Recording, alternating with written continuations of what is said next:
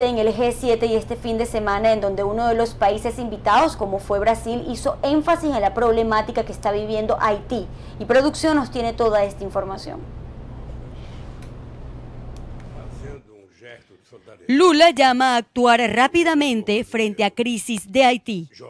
Luis Ignacio Lula da Silva no se olvidó de Haití durante la cumbre del G7 realizada en Hiroshima, Japón, este fin de semana. El presidente brasileño habló de la necesidad de que la comunidad internacional actúe con rapidez para aliviar el sufrimiento del pueblo haitiano. En un discurso leído este domingo 21 de mayo durante la sesión de trabajo del G7 y los países invitados en Hiroshima, el presidente de Brasil, Luis Ignacio Lula da Silva, subrayó la necesidad de que los líderes del mundo lleven rápidamente ayuda a la gente haitiana. Real Madrid ele é o melhor, é o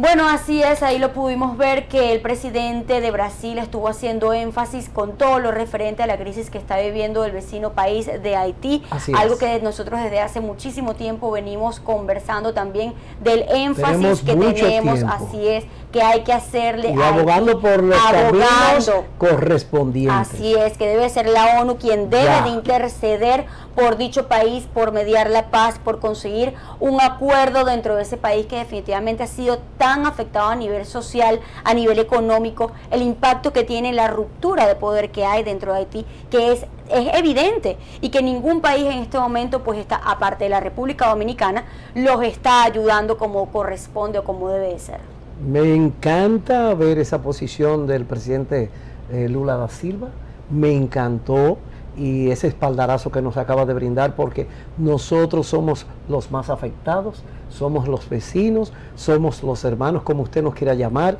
pero si en Haití cae una llovizna, aquí cae una llovizna también. Somos, compartimos la misma isla, pero no estamos de acuerdo con ese abandono, con ese